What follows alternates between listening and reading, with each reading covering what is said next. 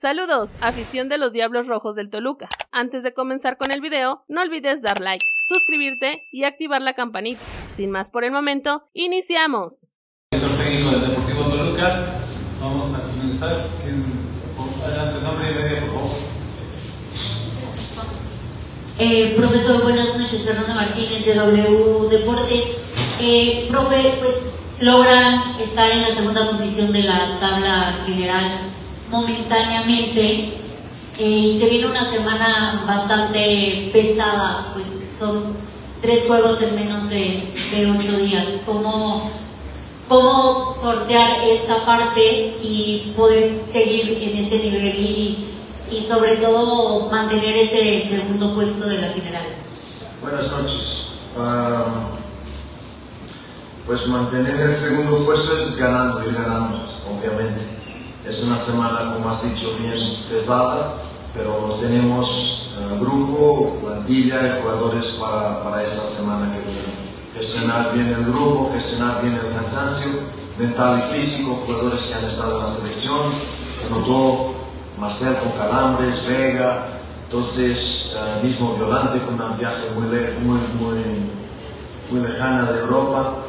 Eh, pero trabajar igual con la misma actitud, la misma intensidad, volver al Nemesio, volver a nuestra casa para, eh, con los nuestros, porque nos cuesta en realidad jugar fuera, aunque hoy el estadio estaba lleno de, lleno, pero como, no sé lleno no, pero con mucha gente de Toluca, de los nuestros, y eso hay que valorarlo siempre, agradecerles mucho el apoyo que nos dan también fuera eh, y que nos hacen sentir como jugando en casa. Un partido muy difícil, un equipo que no perdía cuatro partidos, que aquí ganó a Tigres, es un equipo muy competitivo, te hace el partido muy duro, muy, muy, muy luchado, con un juego un poco más directo, donde los duelos y la parte física gana mucha dimensión y eso me obligó también a hacer un otro cambio táctico durante y al final poner un tercer central, pero no fue el mejor partido de nuestra parte. También es verdad que, a ver, volvemos a lo mismo, podíamos haber matado, muerto el partido dos, tres veces haciendo el 2-0 y perdemos goles eh, que a veces son impensables y en eso tenemos que mejorar muchísimo porque ya nos dañó en uno u otro partido en que nuestra eficacia no funciona delante del gol y después eh, terminas por no ganar los partidos. Hoy eh, hemos luchado, el equipo ha luchado, ha trabajado, ha tenido claridad en algunos momentos con balón, hemos hecho lo que estamos acostumbrados a hacer en un primer momento con un equipo adversario bajo, con un bloque más bajo, pero eso obviamente son cosas que nosotros tenemos que resolver, no hay otra, porque no, no es una crítica a mi colega, nada de eso, pero eh, es verdad que el bloque bajo y cerrado nos dificulta muchísimo eh, el trabajo y la labor ofensiva, pero hemos tenido la paciencia muchas veces de circular el balón, otra no la, no la hemos tenido y, y hemos generado contraataques al adversario, pero creo que al final la victoria es justa y me quedo con eso, que podríamos cerrar el partido más temprano, no sufrir tanto, pero, pero bueno, tres puntos, sumamos y ahora volver a casa. Si te preguntas, saludamos a Jesús García de Vivo Sports. Adelante, Jesús. Gracias, Marco. ¿Qué tal por acá, profesor? Jesús, ¿cómo estás? Muy bien, gracias, profesor. Gusto de saludarlo y también preguntarle precisamente lo, importante era la victoria, también el hecho de haber ganado, pero también destacar, profe, y también si nos pudiera comentar el análisis que se hace de no tener, no recibir gol, el buen trabajo que ha hecho también Rui con Thiago Volpi, el tema también de que no recibieron gol, cómo se toma eso en el análisis, también preguntarle, profe, hoy Paulinho se sigue manteniendo como líder de goleo, ocho anotaciones en el campeonato, se menciona que es el fichaje bomba de este torneo, cómo eso también más allá de lo individual puede apoyar en lo colectivo lo que genera Paulinho dentro del vestidor y ya acoplado aquí y se ha visto en el fútbol mexicano jornada a jornada. A ver, Jesús, para mí los fichajes bomba funcionan cuando el equipo funciona también. Ah, después, si el, si el equipo, si el colectivo es fuerte, termina por aparecer uno u otro jugador. Hoy hablaste bien de los dos puntos, de, de, de, de las dos extremidades de la cancha. Cómo hemos defendido en muchos momentos muy bien y cómo Paulinho después define en esa jugada. Tuvo otras para hacerlas y no las ha hecho, pero es como te digo, él y otros tenemos que ser un poquito más uh, asesinos en el buen sentido deportivo dentro del área y cerrar los partidos. Uh, Paulinho llegó como llegó Frankie, como que no está teniendo tantos minutos ahora, pero trabaja muy serio. Um, como llegó Bruno, como llegaron otros para nos ayudar, como llegó Anderson, el niño, están llegando para ayudarnos, pero si no funcionas como equipo, si no funcionas como colectivo, no, no va, porque el balón no es Paulinho que recibe el balón en su área y la lleva a la otra área. El balón llega a Paulinho por un trabajo colectivo que nosotros intentamos que sea el mejor posible uh, para generar muchas oportunidades. Y hoy no jugando muy bien, hemos generado oportunidades suficientes para, para ganar el partido por más goles. Uh, por lo tanto, eh, esto es continuar trabajando, continuar que los no están tan acoplados y han llegado después, como el caso de Anderson, de Liño, por ejemplo, entrar en nuestra dinámica de juego, aún se nota que están un poquito fuera de ella, y ir trabajando y creciendo para llegar a los playoffs con, con más fuertes a nivel ofensivo y defensivo. El arco en cero es uh, importante para nosotros porque la forma como juega Toluca es muy raro que no marque un gol por lo menos por partido. Entonces, si mantienes el arco en cero, es casi seguro que llevas los tres puntos. Entonces, uh, eso es importante para nosotros, es importante para la credibilidad defensiva que tenemos. Nos dicen, ah, Toluca defiende muy mal. Toluca es la tercera mejor defensa del campeonato en tantos equipos. Uh, ¿Qué quieren las personas? Que los adversarios no lleguen, no tengan oportunidades, eso no existe, pueden tener menos. Siempre todo se puede mejorar a nivel defensivo y ofensivo, cuando ganas, cuando pierdes, cuando goleas, siempre hay cosas buenas, siempre hay cosas malas, pues nos quedamos con el arco es importante y vuelvo a decir, con el pecadillo de no hacer más goles en función de lo que generamos. Siguiente pregunta, saludamos a Javier Rojas del UDN, adelante Javier. Hola, profesor, buenas noches. Gracias, profesor. Después de esta fecha fija, comenzamos la recta final del torneo. Después de este partido quedan cinco para llegar hasta la última jornada.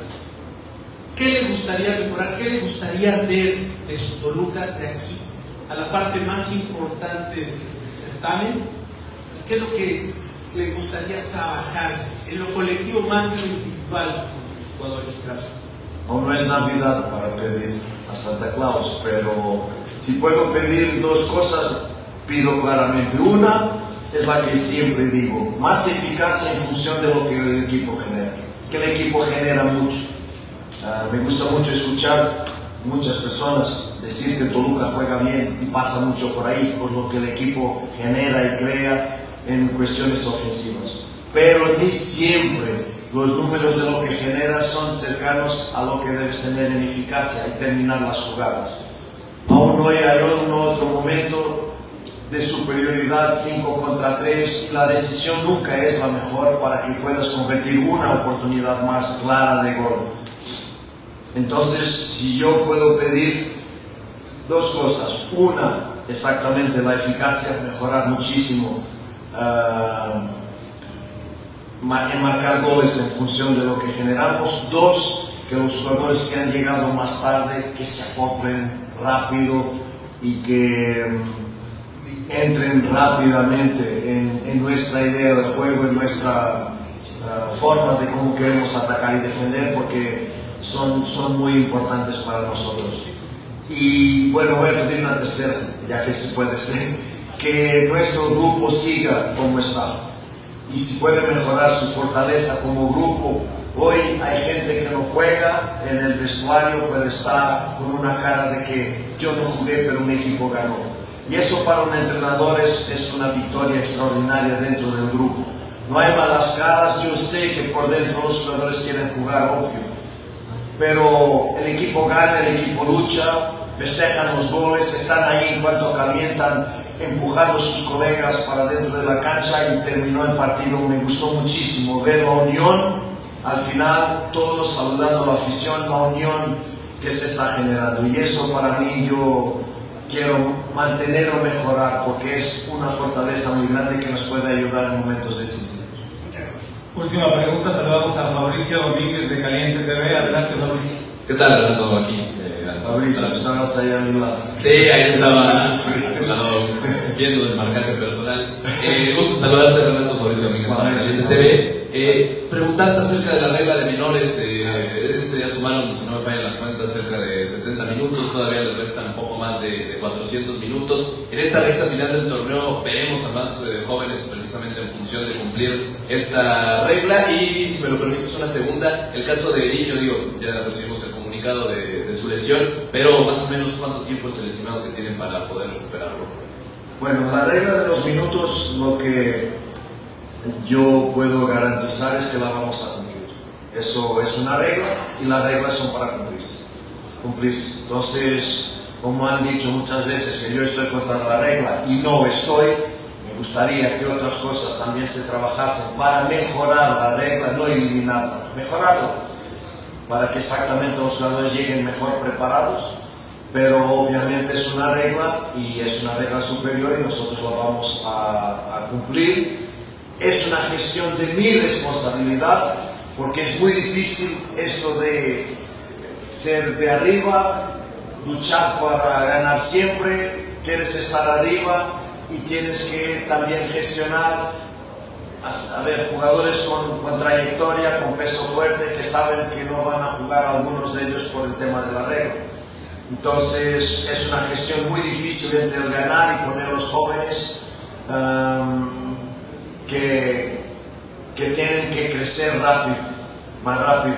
Y, y, por lo tanto eso es seguro. Vamos a cumplir la regla y, quedan los cinco partidos para que yo gestione eso y las personas tienen que entender. Estoy muy preocupado en sumar, estoy muy preocupado en, en cerrar esta calificación dentro de los seis y intentando partido tras partido gestionar las dos cosas. Ganar no es que con los chicos no se pueda ganar, claro que puedes, pero si pones un Kleber, por ejemplo, con la edad que tiene, es más difícil que ganes si pones un jugador con una trayectoria como Iván López, por ejemplo.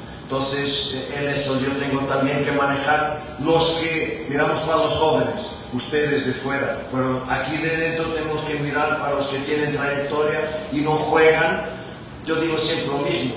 Iván López, Angulo, que jugó, uh, otros son posibles jugadores de selección mexicana hoy.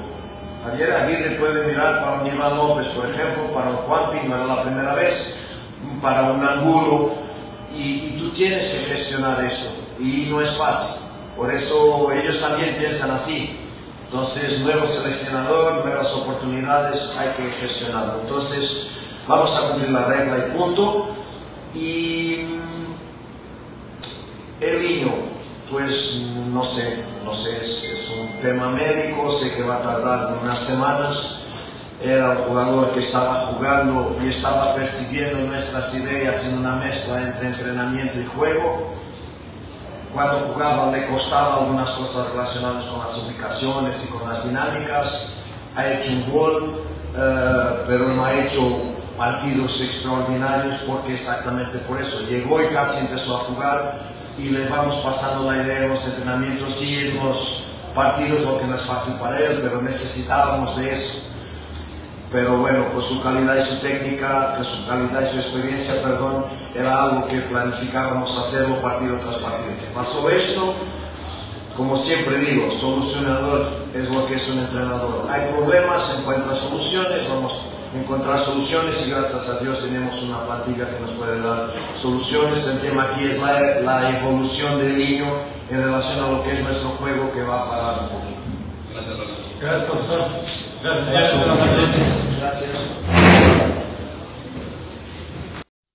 Marcel Ruiz estuvo cerca de jugar en Europa, un grande de Francia lo pretendía. El mexicano Marcel Ruiz ha mostrado calidad, por lo que desde Francia lo siguen muy de cerca y pronto podría dar el salto a Europa. El sueño no se concretó. Marcel Ruiz pudo ser otro mexicano en emigrar al viejo continente, pero su deseo por ahora quedó frustrado. Hace aproximadamente un mes se dio a conocer que el Toulouse de Francia era uno de los clubes europeos que seguían directamente al mediocampista. Sin embargo, no llegó a concretarse nada con los Diablos Rojos. El propio jugador de 23 años aceptó que el interés fue real, pero que lamentablemente para su causa no llegó a buen puerto. Sí, hubo una oferta formal, estuvo muy cerca de concretarse, al final no se pudo, pero yo estoy muy contento acá. Como siempre lo he dicho, si se me llega a presentar otra oportunidad me gustaría que se diera. Aceptó en conferencia de prensa desde las instalaciones de su club. Ruiz está concentrado completamente en Toluca y aceptó que le gustaría alzar el título con los Escarlatas antes de ir a Europa. Ahora estoy muy contento acá, creo que iniciamos bien el torneo, y pues me gustaría quedar campeón acá y después poder dar el salto, añadió. El futbolista nacional es uno de los referentes en el esquema del técnico Renato Paiva, e incluso en el último duelo de la tercera jornada ante Mazatlán fue el capitán del equipo. Me siento bien, creo que estos últimos juegos he elevado mi nivel. Tiene mucho que ver con el rol que se le da a uno en el equipo. El torneo pasado era diferente, me limitaba a llegar al área. Ahora estamos teniendo otras funciones y eso me da más aproximaciones a gol, dijo. ¿Cuál será el siguiente partido del Toluca en la Liga MX? El sábado en el Estadio Ciudad de los Deportes se pondrá en juego el liderato de la Apertura 2024 en el cotejo entre la máquina y Toluca. Marcel Ruiz destacó el buen trabajo que han hecho los cementeros, pero confía en la capacidad de su equipo para lograr el triunfo de visita. Será un gran duelo. Cruz Azul viene jugando bastante bien. Nosotros hemos tenido una progresión, nos vemos cada vez mejor y eso es importante. Nos jugamos el liderato, aseveró. No es que sea una rivalidad especial, simplemente creo que es un partido de mucha calidad en ambos planteles. Va a ser con muy buen fútbol, que ya se ve pocas veces ahora en estos días lamentablemente, y que va a ser un espectáculo para la afición y para la persona que lo vea por televisión. Será un gran duelo de fútbol, finalizó. Por otro lado, no tiene sentido. Renato Paiva criticó el próximo parón por Leagues Cup. El estratega del Toluca, Renato Paiva, confesó que uno de los objetivos del equipo del Estado de México es ganar la Leagues la Liga MX tendrá que parar de forma obligada por las próximas semanas. La Leagues Cup 2024 se atraviesa en el camino y los equipos tendrán que viajar a Estados Unidos para disputar el torneo binacional entre el fútbol mexicano y la Major League Soccer. Sin embargo, no todos están de acuerdo y el técnico Renato Paiva no le encuentra explicación a este hecho.